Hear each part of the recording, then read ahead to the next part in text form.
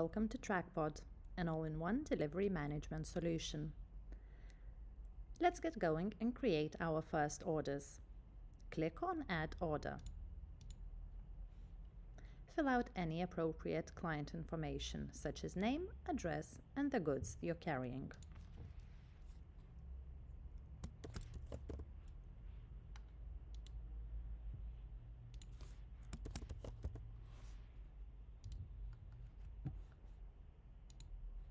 Select a date and provide any further information you might feel appropriate such as weight, packages, volume or cash on delivery. Click on Save. We have created our first order. Let's do another one.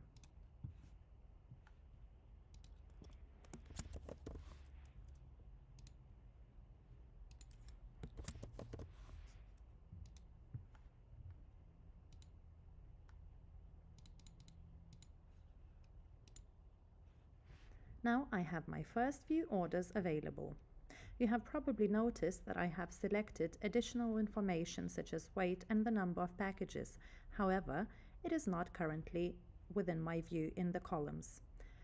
To have this available, just click on any three dots on any of the column, choose column, and tick any of the boxes that you want to be available for your view. Here we go. Now we have the order set up. Let's create a route. Click on Add Route. Select the date,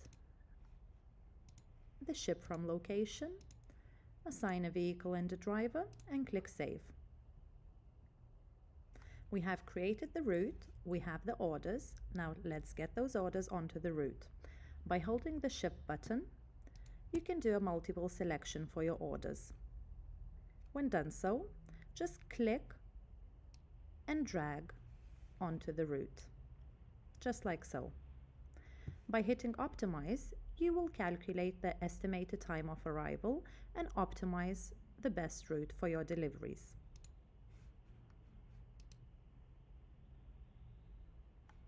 We're all done.